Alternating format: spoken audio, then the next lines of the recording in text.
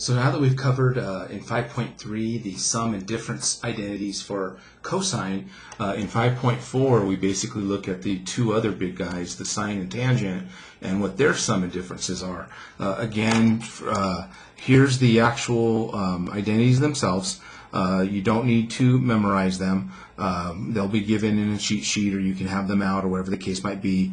Uh, just make sure that you can use them and go from there.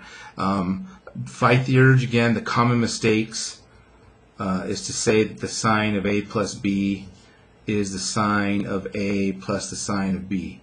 That is uh, just like the cosine. That is not true. All right. The sine of the sum is basically the sine of the first angle, cosine of the second, plus the cosine of the first, the sine of the second. And then the same thing with the sine of the difference. Fight the urge to make the mistake of distributing the sine because that's not what happens, right? We do not distribute function names, right? Uh, the sine of a difference is basically the sine of the first, cosine of the second, minus the cosine of the first, sine of the second. So there, there's basically how you do that. And of course, the tangent follows through. It's a little bit more complicated uh, than the sine and the cosine. Uh, that shouldn't come as a surprise because we know tangent is sine over cosine. And that's kind of inherently how the proof, one of the proofs goes in terms of that. Um, we are just going to use them. So if you're interested in a proof, I'll have a vid in the module. Um, I think the book also has some proofs. Um, so you guys can take a look at that if you're interested. What we're going to do is just use them. And so like we did with cosine, what I like to do is just get familiar with them a little bit, just to kind of, we'll use the calculator to kind of verify that what seems to be going on here is true. And, you know, just be kind of a quasi proof if you would. So, you know, let's just take a number. Um, you know, how about the number 57? Um, uh, we'll talk 57 degrees. And so let's find the sine of 57 and the tangent of 57. And then we'll play around with these two things. So I'm going to bring out my Desmos calculator here. And uh, it looks like the, let me bring it up here.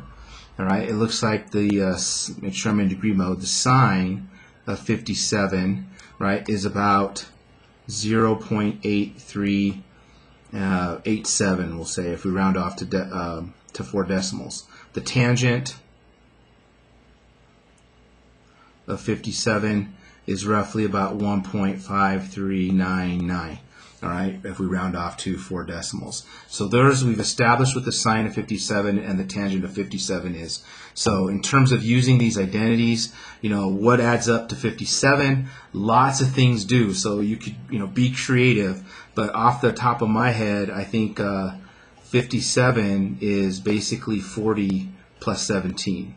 So if I write it as a sum, using the uh, formula up here, it's the sine of the first angle times the cosine of the second, and then we're going to add the cosine of the first angle and the sine of the second.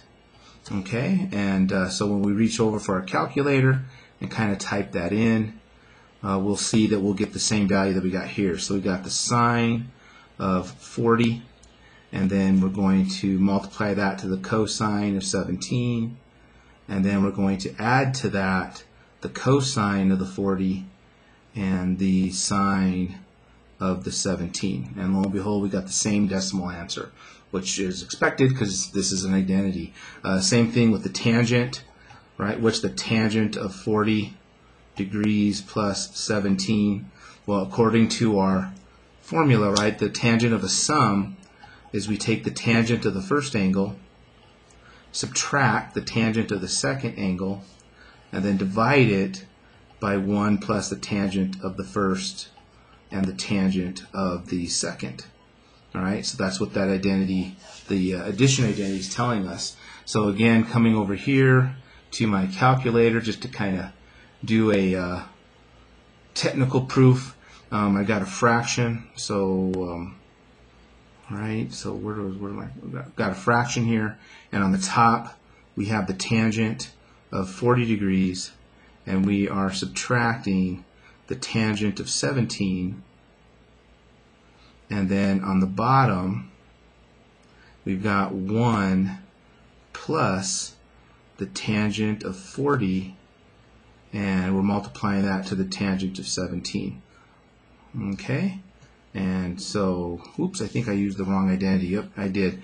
Right? So uh, for the plus, it's a plus up here and a minus down there. So I screwed that up. All right, so let me go change those signs.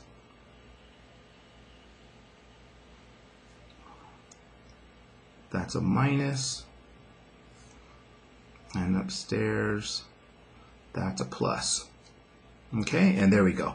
So that's the same decimal that we got. Um, I think by uh, what I did is I found the tangent of 40 minus 17. So I, I, ended up using that one when I should have been using that one. So be careful, right? So that kind of verifies that the sum does, does what they do. Uh, 57, uh, again, you know, maybe we can write 57 as 70 minus, um, what would that be, 13? right? So 70 minus 13 is a way to write 57. So the sine of 70, oops, minus 13 degrees, all right, that according to this, that would be the sine of 70 and times the cosine of 13 minus the cosine of 70 and the sine of 13. Okay, so according to that uh, guy there, so let's go ahead and we'll uh, clear this out. And we'll type in the sine stuff for 57 degrees as a, as a subtraction. So we got the sine of 70 and the cosine of 13. And we're going to subtract the cosine of 70 and the sine of 17. Okay. Oops, 13. What am I thinking? I'm thinking of the last problem, 13. All right, and so there you go. Same decimal value that we got before, right? So 0.8387. And again, if we did the tangent, right, the tangent of 70 minus 13, well, that one would be this guy.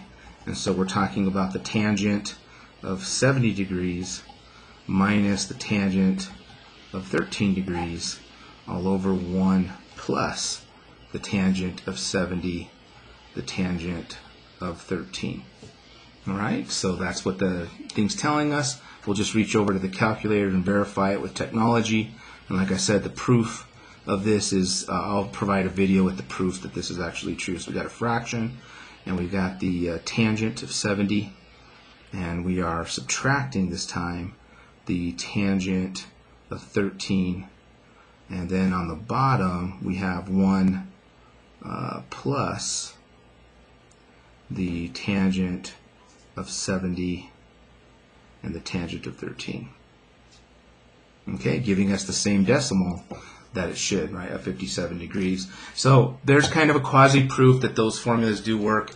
Of course, there's lots of ways to break up 57 into a sum or a difference, but because these identities are true for everything in the domain, it doesn't really matter how you rewrite 57.